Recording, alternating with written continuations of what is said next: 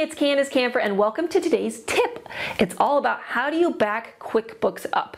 I've been getting a lot of calls recently and messages about people having corrupt files or QuickBooks isn't opening and they're having some troubles with it. So make sure you're backing up. Please, please, please back up your QuickBooks frequently.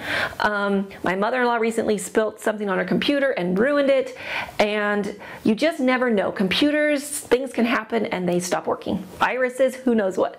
So I'm gonna walk you step by step through QuickBooks, how to back it up in just a second. I wanna tell you, a lot of times I also get asked how often to back up.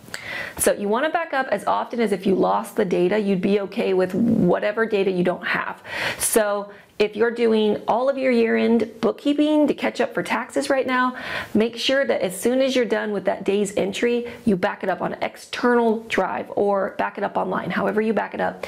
And then also, if you're doing weekly um, data entry, back it up either weekly, every other week, maybe monthly, but just at least monthly because you don't want to have to go back every, you know, multiple months and have to redo your data entry if something happens to your file, which I hope it doesn't for you. So come look over my shoulder. I'm going to take you step by step. Okay, so now I'm going to show you how do you actually back up the data file. So right now I am in QuickBooks Pro 2014.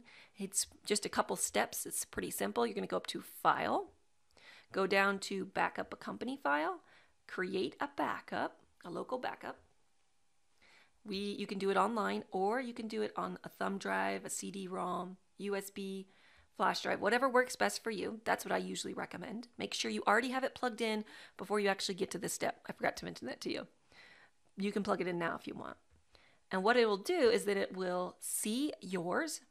Otherwise, you can browse for it. You're going to find it. And you're going to click Save. And that's as simple and easy as it is. It's going to go through, you're going to want to make sure you check the complete verification if you're backing up for the first time. And you're going to want to, the reason I have you do that is because in case there is a problem with your data file, it'll go through and make sure it's okay. I recommend having three to four backups because you just never know if one's corrupt.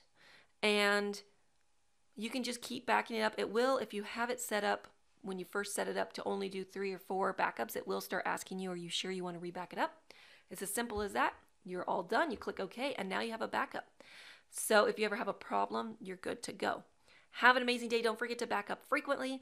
If you liked this video, please share it with somebody.